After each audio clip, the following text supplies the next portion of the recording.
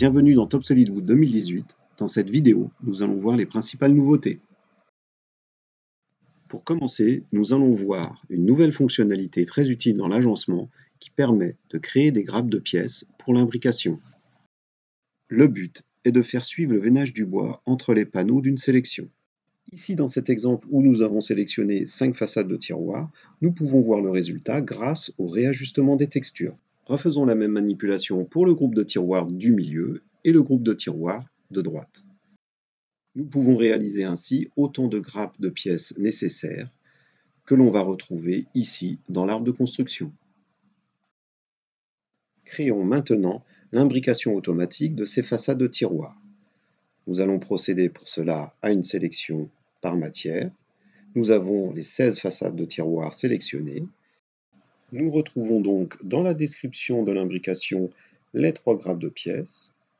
Réglons maintenant les différents paramètres de l'imbrication, comme ici la stratégie et l'espace entre pièces.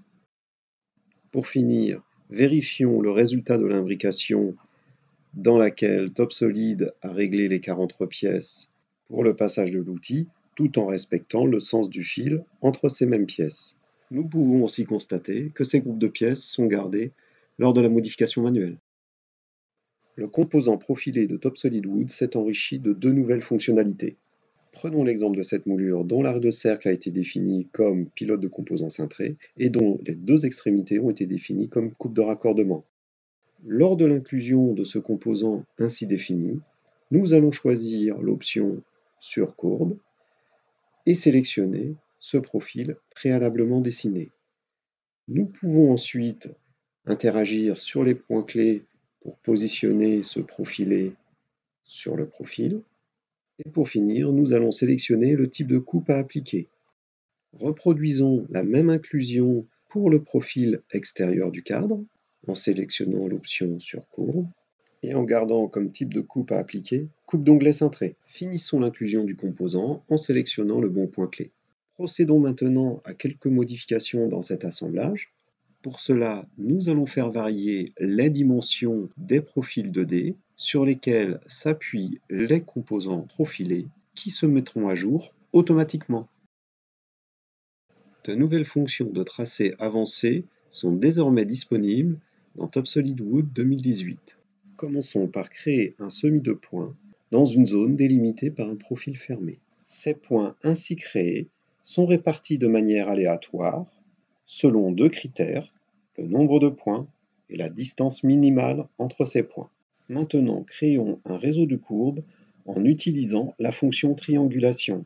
Revenons en arrière pour choisir l'option diagramme de Voronoi. Ce réseau de courbes s'appuyant sur le semis de points se recalcule automatiquement lorsque l'on rejoue la répartition de ces points.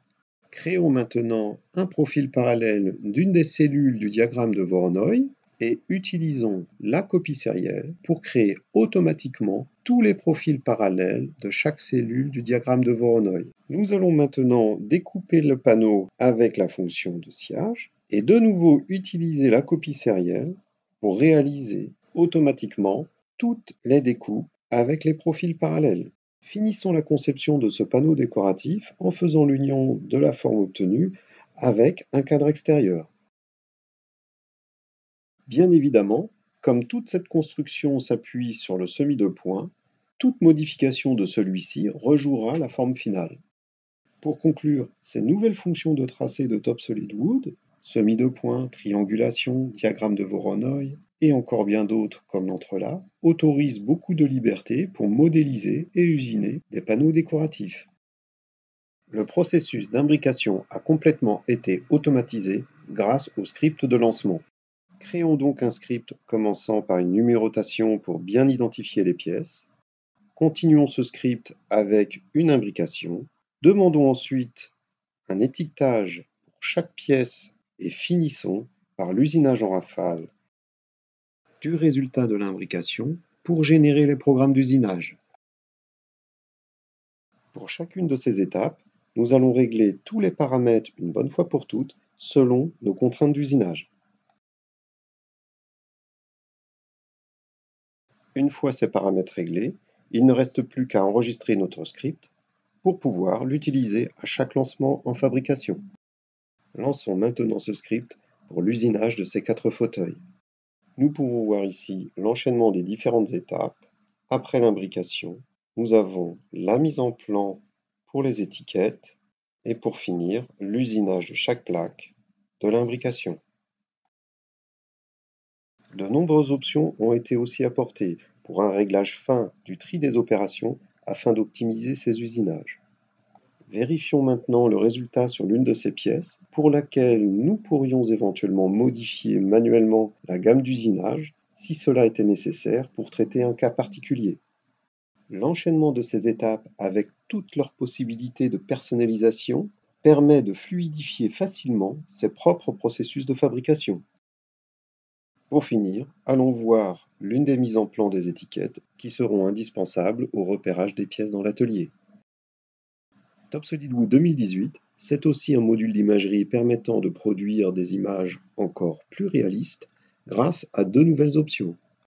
Une fois le calcul du rendu réalisé, dans la fenêtre du post-traitement, un nouveau curseur est disponible pour régler la netteté de l'image. Ce réglage permet notamment de faire ressortir les arêtes vives.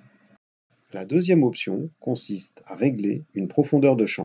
Commençons par mettre l'intensité de cette profondeur de champ au maximum et interagissons sur les curseurs définissant les zones de flou et de netteté pour le premier plan et l'arrière-plan. Ce réglage de profondeur de champ nous permet d'approcher une qualité photo en simulant le réglage de la mise au point, comme ici sur la tête de la guitare.